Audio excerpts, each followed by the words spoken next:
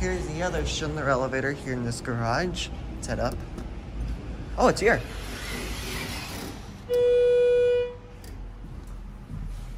Seven. Let's look outside.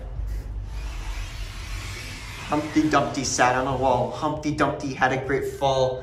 All the king's horses and all the king's men couldn't put Humpty together again.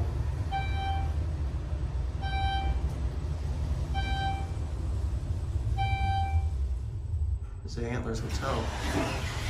Let's head down to B. Same cab as the other Schindler, but this thing runs much nicer actually. Here's your fixtures and your phone.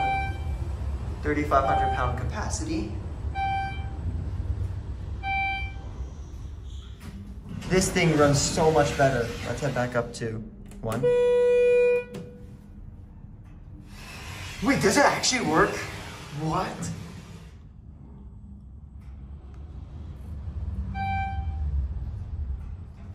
Ah, regular HD indicator.